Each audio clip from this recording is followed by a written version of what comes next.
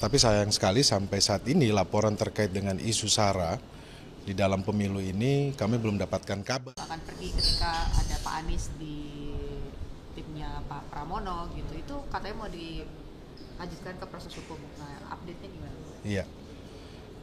Terkait dengan pernyataan saudara Ara, kami sudah melaporkan ya secara kepartaian Badan Bantuan Hukum dan Advokasi Rakyat sudah melaporkan kepada Bawaslu dan juga kami mendengar bahwa masyarakat eh, Jakarta juga sudah ikut melaporkan Eh, tetapi sayang sekali sampai saat ini laporan terkait dengan isu SARA di dalam pemilu ini kami belum dapatkan kabar dari Bawaslu.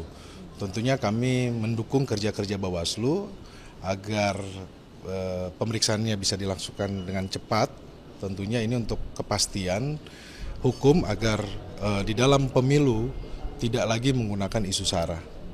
Dan juga kalau kami mendengar laporan terhadap eh, saudara calon wakil gubernur Pak Siswoyo Suswono, di pelaporannya terkait dengan kasus apa, Bung? Eh, dilimpahkan ke polisi. yang sudah dilimpahkan kepada kepolisian ya. Ya.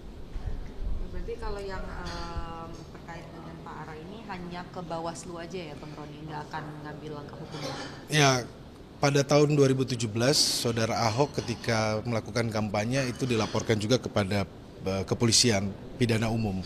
Kami sedang mengkaji, tentunya kami juga akan melaporkan kepada kepolisian terkait dengan statement saudara Ara yang kami menilai bahwa ini melihat ini kurang lebih seperti statement yang ada di 2017 ketika Pak Ahok waktu itu saat ber- berkampanye ya.